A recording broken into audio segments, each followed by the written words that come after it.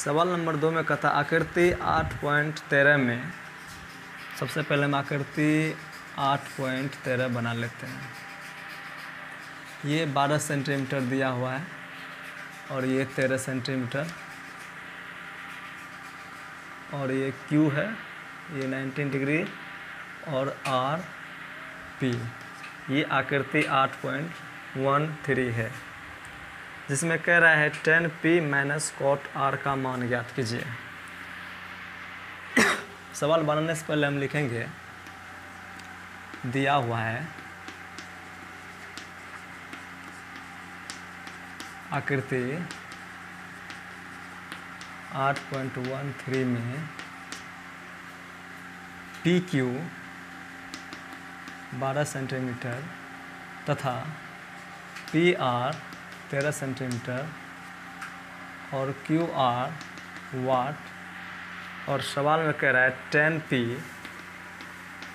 minus cot R का value निकालना है। ये हमें फाइंड करना है वैल्यू सबसे पहले इस सवाल में त्रिभुज दिया हुआ है और इसमें दो भुजा दिया हुआ है। इसका हमें हर हालत में तीसरा भुजा ज्ञात करना होगा। उसके बाद इस पर हम आएँगे। इसका तीसरा भुजा ज्ञात करने के लिए हमें पाइथागोरस पर में लिखेंगे पाइथागोरस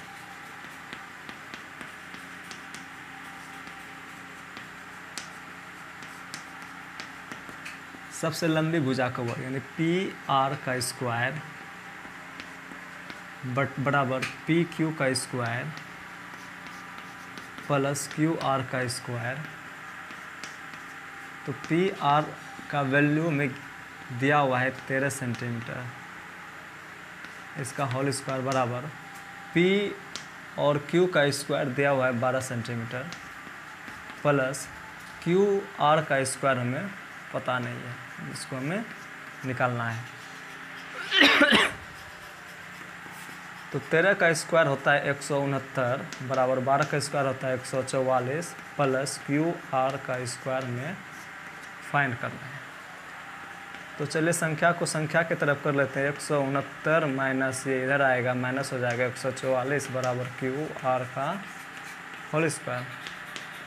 तो नौ में चार जाएगा पाँच छः में चार जाएगा दो, एक में का एक कटम कुट्टी यानी पच्चीस बराबर क्यू आर। स्क्वायर हटेगा तो इधर क्या हो जाएगा? रूट। इसलिए क्यू आर बराबर पाँच सेंटीमीटर। तो आधार का वैल्यू निकल गया। पाँच सेंटीमीटर। अब त्रिभुज के तीनों भुजाओं का मान निकल चुका है। अब हम कितना भी सवाल दे दे, वो हम निकाल लेंगे। तो क्यू आर का वैल्यू कितना निकल गया? पाँच सेंटीमीटर। अब टेन पी और कॉट आर एंगल अलग अलग है। ये बात इसमें ध्यान देना होगा कि एंगल अलग अलग है तो त्रिभुज में आधार और परपेंडिकुलर चेंज होगा। तो सबसे पहले हम टेन पी के लिए अगर P को हम बेस मानते हैं एंगल तो यहाँ अगर इसको हम एंगल ये मानते हैं तो ये जस्ट ये बगल वाली जो भुजा होती है, ये आधार हो जाएगा। और इसके जस्ट सामने वाली भुजा क्या हो जाएगा? लंब। और ये कर्म ऐसा ही रहेगा। सबसे पहले टेन पी का क्या होता है फार्मूला टेन थीटा में। तो यहाँ देखते हैं टेन थीटा बराबर होता है लंब बटर आधार। तो लम्ब बटर आधार दे देंगे।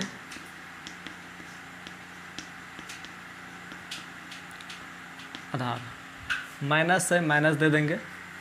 अब देखना है कॉट आर अगर हम आर को एंगल मानते हैं, अगर हम इसे इसे हम एंगल मानते हैं, मान लिया जाए कैसे बना लेते हैं इसे, ये तेरह सेंटीमीटर है, बारह, और ये पाँच सेंटीमीटर अगर इसको हम मानते हैं एंगल तो ये आधार होगा। ये लेकिन लंब हो जाएगा। क्या होगा? ये आधार यहाँ पर इसको एंगल मान लेते हैं। आधार हो गया है, ये लंब हो गया है, लेकिन अगर हम इसको एंगल मान लेते हैं तो ये आधार होगा और ये लंब होगा। तो कॉट आर कॉट का क्या फॉर्मूला होता है? कॉट थीटा बराबर होता है आधार बटर लंब। कॉट का क्या होता है? आधार बटर लंब। तो आधार बटर लंब लिख देंगे यहाँ पर।